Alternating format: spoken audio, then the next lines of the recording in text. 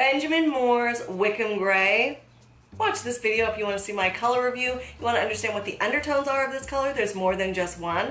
As well, I'm going to show you the best whites to pair with Wickham Gray and beautiful color palettes for inspiration for your home. For color clarity and design advice, be sure you subscribe to my channel and hit the bell down there and you'll be notified every week when I publish a new video. If you get frustrated trying to choose the right paint color for your home, don't worry, I'm here for you. I am a true color expert as well as an award-winning designer and I've helped many homeowners make sure that we choose the right paint color for their home the first time. Be sure to stick around to the end of the video. I've got some helpful resources that I know you're going to be interested in, again, just to help you with your paint color and in your interior decor.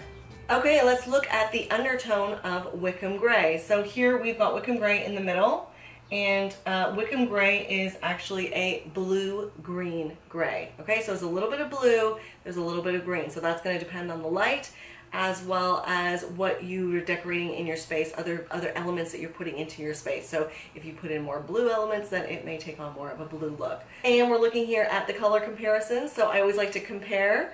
And you can see here on the right, we've got Coventry Gray, which is uh, also by Benjamin Moore and that color here is really what I refer to almost as like a true gray. So it does have a blue undertone, but um, you can see how, so, so if you have a client or if you're looking and you're thinking Wickham Gray may feel a little bit too gray, then you pull out something like Coventry Gray and you go, oh, actually it's really not that gray at all compared to that. So comparing is important. Then here we've got Edgecomb Gray. So all of these colors are called gray, but look at how vastly different they are.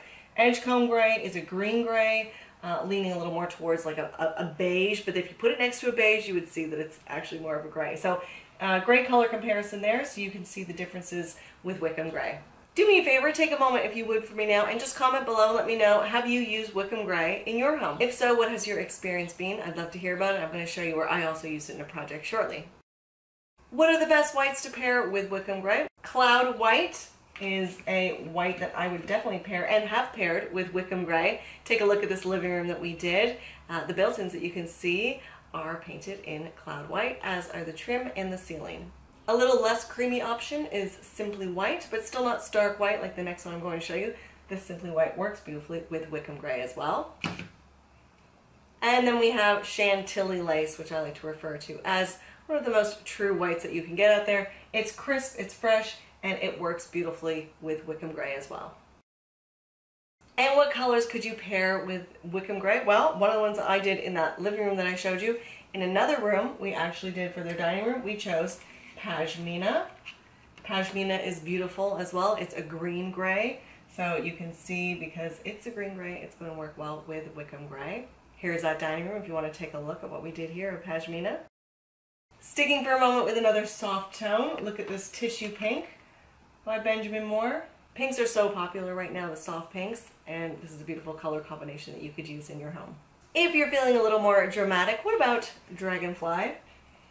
Again, a Benjamin Moore color. I just love these two together, so imagine maybe Dragonfly on some cabinetry and maybe Wickham Gray on the walls. Beautiful! But if you want to go the other way and take out the blue rather than the green, then you can go dark here with Kensington Blue by Benjamin Moore. So another beautiful color combination. I just love putting together color combinations. So make sure that you're following me on Pinterest if you're not already because I have a lot of great palettes there. And go check out my blog and you will see those graphics that I've put together. Now you know everything you need to know about Wickham Gray, but what about making sure that you are choosing the right paint color the first time? Well, I can help you with that. Go to my website. Uh, links are going to be in the description below to get this free download on how to choose the right paint color the first time. And if you want your very own tear sheet on Wickham Gray and everything that I've discussed today, then make sure you go to my website. I will have links again in the description below, www.clairejefford.com. I have one for every color that I've done a review on and always adding more, so make sure that you check back. Remember, one mistake is all that it takes to make a project go from divine to disaster. So make sure you're doing it right and you're doing it right the first time. So tell me, which room would you love to paint Wickham Gray or have you painted Wickham Gray? Comment below, I love to hear from you and I will see you next time. What about knowing how to choose the paint, right paint color? Remember, one mistake is all that it takes to take your, for God's sake, woo!